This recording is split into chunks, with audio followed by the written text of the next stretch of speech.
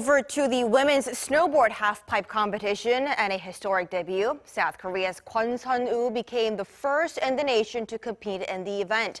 The 19-year-old finished 18th overall, scoring 19.25 in her first run and 35 points in her second. Unfortunately, that wasn't enough to reach Tuesday's final. One person who will be in action today is 17-year-old Korean-American sensation Chloe Kim.